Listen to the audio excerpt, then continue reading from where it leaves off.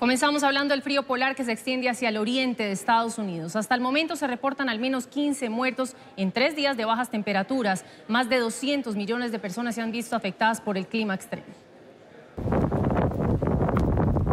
El vórtice polar ha paralizado por completo a Chicago. La temperatura local bajó a menos 30 grados centígrados. Las autoridades de Illinois han anunciado el estado de emergencia y se ordenó el cierre de escuelas, parques y museos.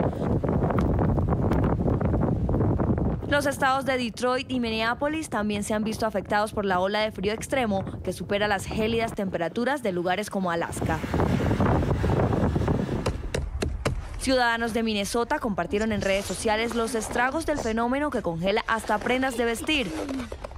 Estas condiciones representan una seria amenaza a la vida humana. La piel expuesta a estas temperaturas podría congelarse en solo 10 minutos, mientras el agua lo hace en cuestión de segundos.